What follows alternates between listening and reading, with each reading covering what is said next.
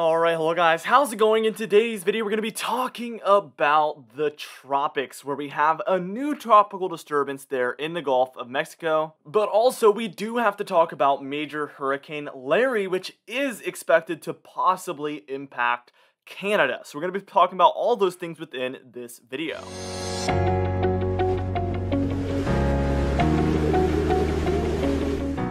Now be sure to smash that like button, leave a comment down below, and subscribe for more weather-related content. For today's comment of the day, I would like to know when do you think our next tropical disturbance is going to be uh, developing in the Atlantic Ocean? Let me know in the comments down below when you think that'll be, and I'll be picking one of those for tomorrow's video.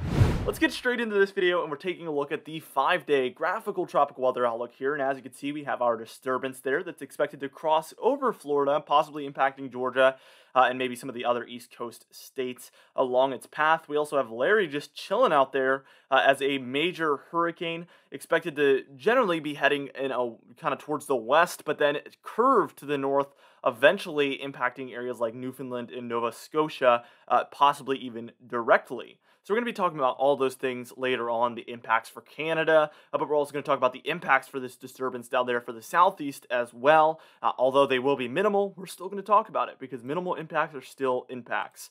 Let's go ahead and take a look at the percent chance on this disturbance there in the Gulf. And we have a 30% chance of development. I think this one will probably be uh, just a disturbance at that. So basically an area of thunderstorms that are kind of windy. Uh, or it could even be a tropical depression, uh, which would be a little bit more impactful. But either way, the impact should be pretty minimal, but still uh, definitely impactful to say the least. Let's take a look at the cone forecast for Hurricane Larry. So obviously the United States has been rolled out. There could be some, you know, I don't know, some rough surf I guess, along the East Coast. But for the most part, it seems like Newfoundland here uh, has the best chance at seeing impacts, possibly even direct impacts. Any anything within the white cone, uh, basically the low pressure system that is Hurricane Larry, could cross directly over anywhere within that white cone. Uh, so we see there is the potential for a direct impact, but if it's offshore, it would still bring some pretty uh, nasty impacts as it will still be a hurricane as it's right next to uh, Newfoundland there. Here's some of those spaghetti models, and we're taking a look here at the GEFS model here. And as you can see, uh, the mean average is just offshore of, of Newfoundland here, but we do have plenty of those spaghetti models going onshore of Newfoundland as well. Uh, a lot of these have this later on impacting Greenland or Iceland or heading back towards Europe as a much weaker storm. So there's many options on the table after that. You can tell that we have pretty high confidence on where this one is going to go, basically up until the point where it either hits Newfoundland or it's offshore of Newfoundland, and then it really just spreads out after that point. Literally anywhere from north uh, to south it can go, and anywhere in between there. Um, so definitely a big uh, amount of options here where this one can go after that point. Now what we're going to do in a moment is move on, take a look at our European ensemble model, Canadian model, uh, and then the individual models. And we'll take a look at some of the satellite imagery for this one, the intensity guidance as well. Then we're going to start talking about impacts, and then we're going to move on talk about the new Invest and what impacts that one could bring, especially to Florida, but some of the other southeast states as well.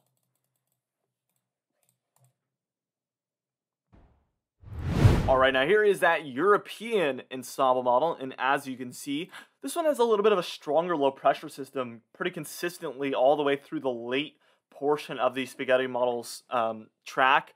But we do see that this one has less direct impacts to Newfoundland there, uh, but the mean average is a lot closer to the coast of Newfoundland. So that's going to bring those nasty impacts onshore for the most part. The Canadian model is a little bit more all over the place, um, but this one also has the mean average very close uh, to the to the shoreline there of of Newfoundland. It has a few of those individual spaghetti models going onshore of Newfoundland as well, uh, which again would be the most impactful solution at this point. Now, as we take a look at these individual models, you can tell that there is a couple that bring this again directly onshore of Newfoundland, but quite a few of these take this pretty far away from Newfoundland. Maybe we can hope for that. Maybe that is an option on the table right now.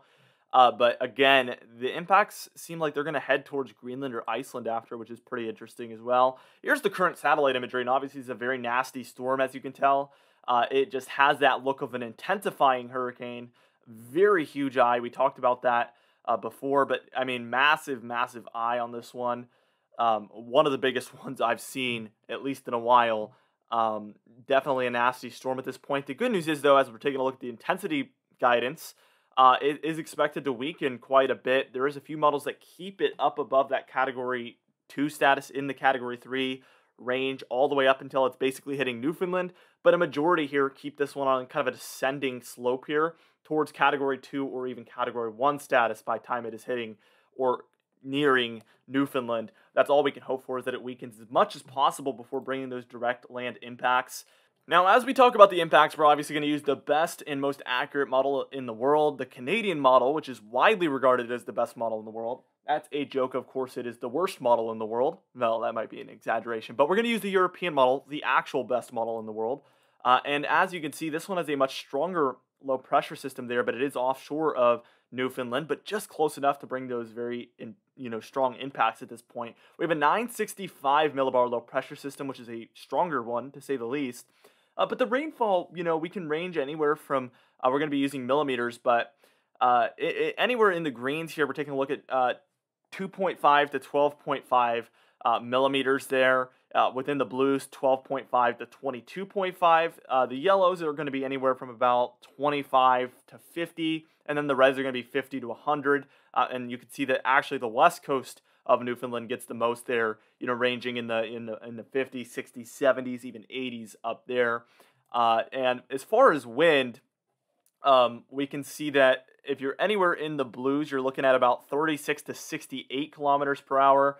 Uh, and then anywhere in the greens are going to be 68 to almost 100 kilometers per hour. So we get a little bit more impactful there, obviously. And then there is some oranges and reds that are very close to the east coast of Newfoundland there that is where we have those 100 plus amounts uh, with the gusts. This is the gusts, by the way. So this definitely would bring some impactful windiness for these regions. Now, what we're going to do is move on real quick, and we're just going to talk about the impacts for Florida with that uh, invest that is down there in the Gulf of Mexico. All right, now here we are taking a look at the spaghetti model guidance. And as you can see, these ones have it ranging all over the place, but I really am siding with the National Hurricane Center here that it's generally going to head towards the northeasterly direction, towards the panhandle, or what I like to call the armpit of Florida. That's not an insult. Last time I called it that, people got insulted. The reason I call it that is because it kind of looks like the armpit of Africa, which they don't consider that to be a, an insult, I don't think. I think that's actually what they refer to that area as in Africa. It really reminds me of that, so I call it the armpit of, of Florida. That is not meant to be an insult in any way, uh, and it's mostly because it looks like an armpit. Uh, here is the intensity guidance, and as you can see, only one takes it to tropical storm status, but it rapidly uh, loses that intensity right after that point. But it seems like the majority here keep this underneath tropical storm status, and I would say maybe tropical depression on those top half models. So I'd say there's about a 50 50 shot of this one becoming a tropical depression, uh, but maybe even, you know, 60 40, 60 being just a disturbance, 40 being depression. I, I don't think it's going to matter too much. I think the impacts are going to be pretty minimal. As we take a look at the rainfall here, uh, we're expecting anywhere from an inch to maybe four inches of rainfall here for, again, the armpit of Africa, pff, armpit of Florida, not the armpit of Africa.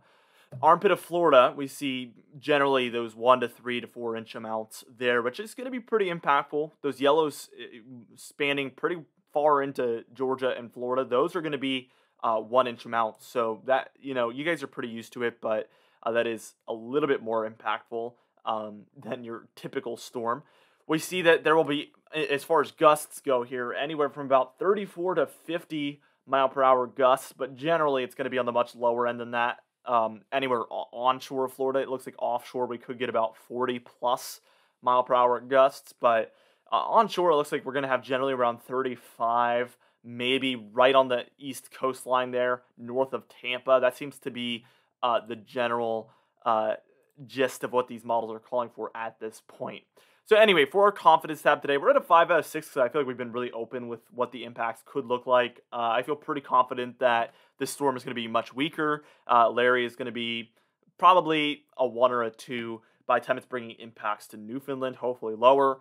For today's comment of the day, I asked you guys, do you think September will overall be a colder or a warmer month? And Ethan Gillespie said, I think September will go down as mostly a cooler month because of constant cold fronts in the East. And I think that is a possibility. Yesterday we talked about a very low confidence, um, more speculative uh, topic of how I think September could go down as a colder month if the GFS is correct, but there's equally as many models saying like it's going to be very hot at the end. So we talked about that mostly for entertainment purposes. Um, I think it is possible that we have pretty consistent cold fronts if the GFS solution is correct. For today's patron highlight of the day, I want to thank you all for supporting the channel, but especially our platinum patrons John Ben Benick, James Wade, Dovey Nagel, Literally Pan, and Donna Carnes. Alongside our diamond patrons, Bill Roberts, Marcus Connolly, Noah Harley, Michael Kudalesa, Catbite, Charles Stinnett, Sidney Klein, Mark J, Luke Flago, Gary, Sean Coolisi, Dwight Phelan, and Stephen Granenthal. If you would like to be part of this very exciting Patreon screen today, you can do so by joining our Patreon page today. That's going to be in the description and in the pinned comments down below. I would also like to thank our channel members where we have two new members, but our Weather Top Dogs, Hair Farms 1, Catbite, Stephen Fan, and Jeremy Cox. If you'd like to join this channel membership, by the way, I haven't advertised this in a while. I did a live stream for Ida a few days ago, maybe even almost a week now. Uh, and a lot of you joined the channel membership. So if you'd like to join that, that's going to be next to the subscribe button down below. I plan on bringing some content for you guys. Uh, so feel free to join that and end up on this channel member end screen of the day. Anyway, guys, thank you so much for watching this video. Be sure to smash that like button, leave a comment down below, and subscribe for more weather-related content. I will see you guys in the next video.